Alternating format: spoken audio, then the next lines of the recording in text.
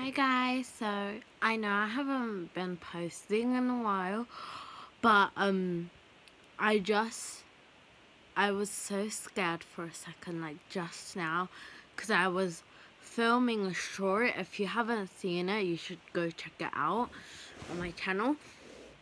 But while I was doing um, um, I always feel like somebody's watching me someone literally was like, I just heard like a loud bang noise.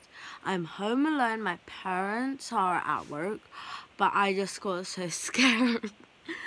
and I literally actually fell, it hurt. But then I came up and finished the video. But I didn't post the full part. I was just like, this is this is the second time I did the dance. So yeah.